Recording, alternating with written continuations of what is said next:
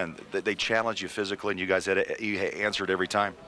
It was a tough game. You know, they were they tried to play physical with us, especially in the second half. And you know, I thought we responded well. Um, you know, on the road in a hostile environment, the crowd was definitely into it tonight, and uh, it was a great win. Kenyon Martin didn't want anything. He, did you try to apologize? And he said, "Well, I, I can't repeat repeat what he said." Yeah, you know, I mean, he thought I, I gave him a cheap shot, but I, you know, I didn't try to do anything, and, and so obviously I went up to him, and he didn't want any part of it. So, whatever. So be it. And Najera pulled you down, and he didn't want any of it.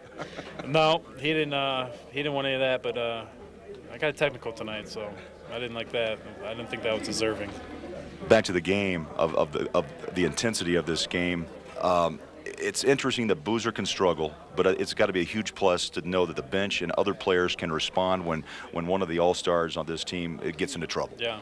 Well, we have a deep team, and um, you know sometimes when guys struggle, you got to have other guys step up, and we did that tonight. And um, you know I've said it all along: to be a good team and, and to be a good team in the playoffs, you got to have a good bench, and I think um, we have that, and I think it can be better than what we were last year as far as the bench. And and so uh, you know we're on a little streak right now. We got some momentum going, so we'll see how long this goes. Last thing, 10 straight wins, as you mentioned, and, a, and a now a two-game lead in the Northwest Division. It's amazing.